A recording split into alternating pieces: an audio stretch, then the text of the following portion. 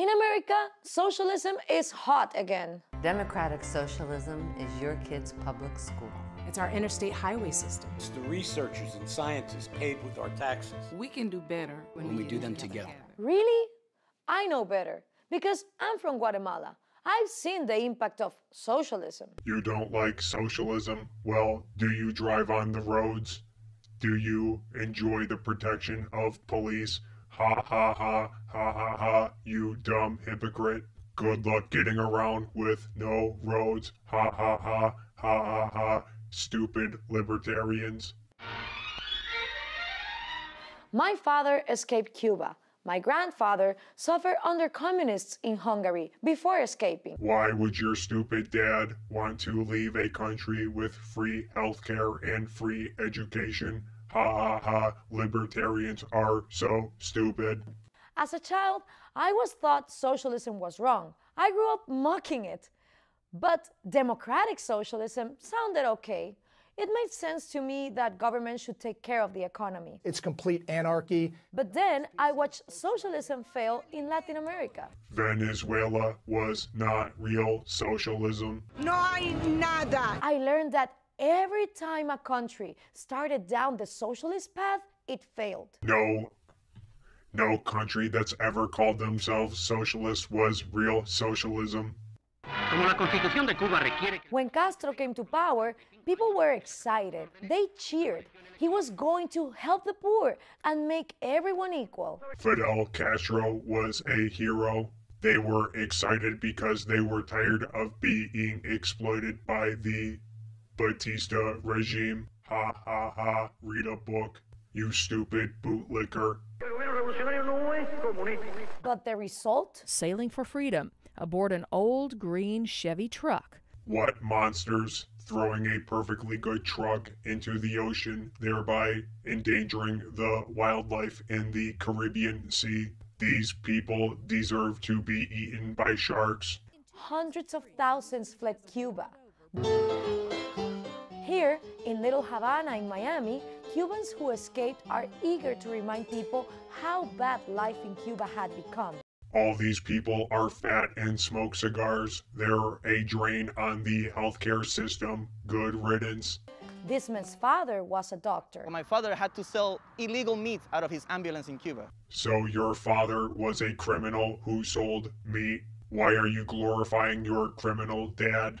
Because the government wouldn't pay him enough. I mean, Cuban doctors earn like less than 1% than American doctors. You don't see any future. Everything is stagnated healthcare, education, nowadays they're in ruin. Ruins? What do you mean, ruins? Cuba has one of the highest literacy rates in the world, and their healthcare system is better than the United States of America, where capitalism is ruining everything. I know so because Ana Kasparians of the Young Turks said so. I tell the Venezuelan, my Venezuelan friends, we warned you guys. Esta es la hora del pueblo bolivariano. Venezuela did not listen. They followed Hugo Chavez down the socialist path. La gran, de las grandes riquezas que hay que distribuirlas por igual, de manera equitativa. Chavez's promises impressed American celebrities too. Uh, fascinating guy. This is you and uh, Hugo Chavez. oh, Michael Moore! Michael Moore! Really? Come on in. He says, he says, he says, he says, help me write my speech. El capitalismo es el reino de la injusticia. Chavez said, I'll take from the rich and give to the poor. When there was no money left, the government just printed more. That caused inflation a million percent inflation. Now, a chicken costs this much. Venezuela is not real socialism, it's state capitalism. The reason why Venezuela is not succeeding is because greedy corporations and capitalists are hoarding and hogging all of the resources. Venezuela has, of today, the highest inflation in the world. When business owners raised prices to keep up with inflation, government often took away their businesses. Por Dios! ¡Algo de corazón! That's what's happening to this man. Ajá, pero eso está en manos del gobierno, ¿verdad? Chavez sees lots of private property. ¿Y este edificio? Es un edificio que tiene comercio privado de joyería. Expropiese. Chavez seized thousands and thousands of businesses, just took them away from their owners. Yet most Venezuelans like that. Yeah, it's called democracy. Get with the program. Ha ha ha, stupid bootlicker. People was clapping so hard. They were like, oh, finally, there's somebody here making social justice. But government grabbing private businesses created shortages of almost everything. That's because it was not real socialism. Why did you leave your country? It's like the apocalypse.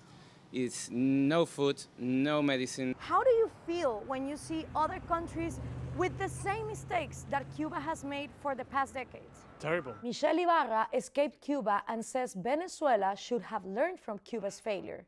People in other countries in Latin America, they will blame anything else besides socialism. Blaming socialism for Venezuela's riches to rags story is grossly misleading. And there are plenty of socialist countries that look nothing like Venezuela. When I talk about democratic socialism, I'm not looking at Venezuela. I'm not looking at Cuba. I'm looking at countries like Denmark and Sweden.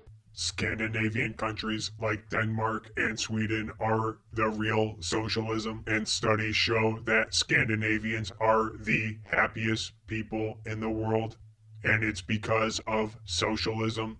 Why not try my Swedish tradition? Scandinavia is now called a socialist success. Even people jailed in Venezuela like Francisco Marquez say that. Yeah, I mean, you have Norway, you have Finland, you have these type of, of countries that are democratic, that have democratic institutions, and many of them have socialist policies. In Scandinavia, private business is largely left alone. Governments don't even set a minimum wage. Minimum wage should be $15 an hour Everyone has a right to a living wage. Minimum wage is not required in Scandinavia because they have a strong welfare system that makes up for bad wages. Freedom Rankings score Scandinavian countries high on property rights and business freedom.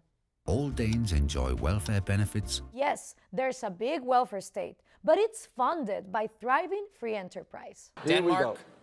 Denmark. But so many American politicians say Denmark is a socialist paradise that Denmark's prime minister felt compelled to reply.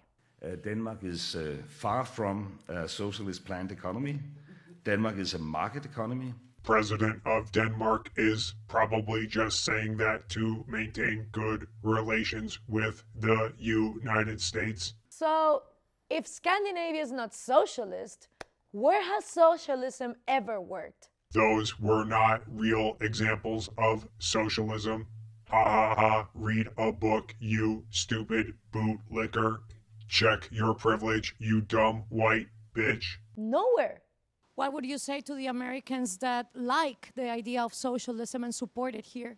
I would say that they should wake up. You don't need the government to dictate how you how to live your life, uh, how much money you should make, how your family should be uh, treated, or how much you should pay. If anything, I think taxes are still a bit high here. What's wrong? You don't like taxes? Well, do you like driving on the roads?